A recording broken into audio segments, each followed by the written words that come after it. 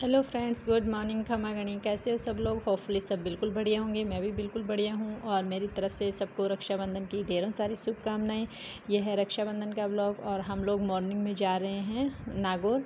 और नागौर में एक मंगलम फैक्ट्री है बैंगल्स की। वहीं से कुछ होलसेल में बैंगल्स लेने जा रहे हैं। ये हम पहुँच गए हैं फैक्ट्री में।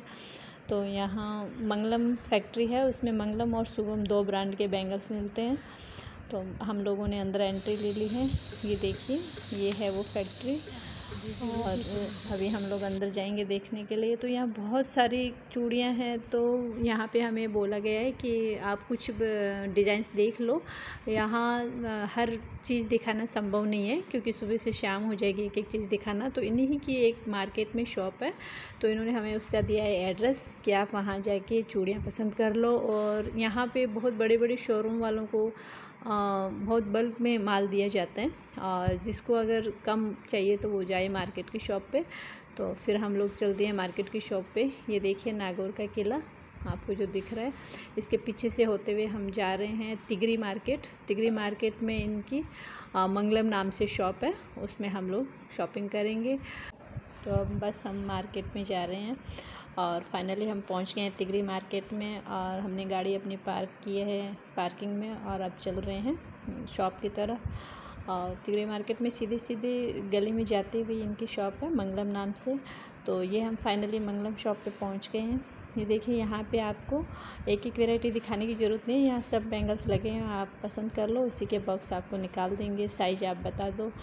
तो यहाँ आप रिटेलिंग में माल भी ले सकते हो और होलसेल भी ले सकते हो। तो हमने कुछ बैंगल्स पसंद किए हैं। मंगलम ब्रांड का बहुत महँगा था तो वो अभी हम लोग नहीं रखेंगे शॉप पे और शुभम ब्रांड का आपको बहुत सारा बैंगल्स का कलेक्शन मिल जाएगा। अभी भैया मार्केट में शॉप ओपनिंग कर रहे हैं बीकानेर में। तो उसमें है किड्स वेयर टॉयज़ और बैंगल्स, आर्टिफिशियल ज्वेलरी। तो यहाँ से हमने बहुत सारी बैंगल्स ख़रीदे हैं। राजपूती बंगड़ियाँ ख़रीदी है, चूड़ा सेट ख़रीदा है और अब वापस घर की तरफ़ चल दिए हैं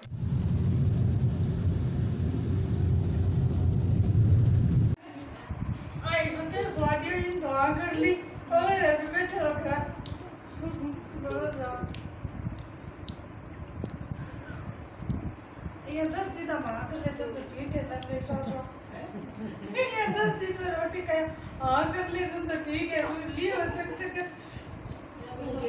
अपना एक घंटे का किलो हाँ तू नहीं आके ना देता और तो आसास भी कोनी हाँ करें।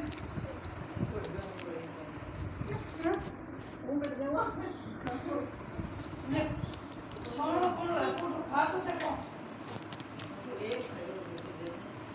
मेरे तो नज़र लगा दी चाय वाय पी के हम निकले हैं कोचिंग के सामने। स्नेहा बोली, मैं स्कूटी के राउंड निकाल के आऊँगी, मम्मी, चलो चलो। तो मैं उसके साथ आई हूँ और अभी पीछे से आ गया है छोटे वाले भैया का फ़ोन। पुलिस वालों का यही काम होता है। बस उसकी ड्यूटी आ गई अचानक। पहले बोला, रात को आराम से राखी बांधेंगे, आज मैं छुट्टी पे हूँ। और अचानक उसका फ़ोन आ गया, उसको चूरू जाना पड़ेगा। तो उसने हमें फ़ोन किया, चलो, मेरे को तो राखी बाँध दो। तो फिर हमने पहले इसको बाँध दी राखी। हम इसको राखी बाँध के बाकी सब लोग हम रात को बांधेंगे। और हमारा सारा जो प्लान था वो चौपट हो गया कि तैयार होंगे, कपड़े चेंज करेंगे, ये करेंगे। अब जल्दबाजी में हमें राखी बांधनी पड़ी, क्योंकि इसको ड्यूटी जाना है अभी।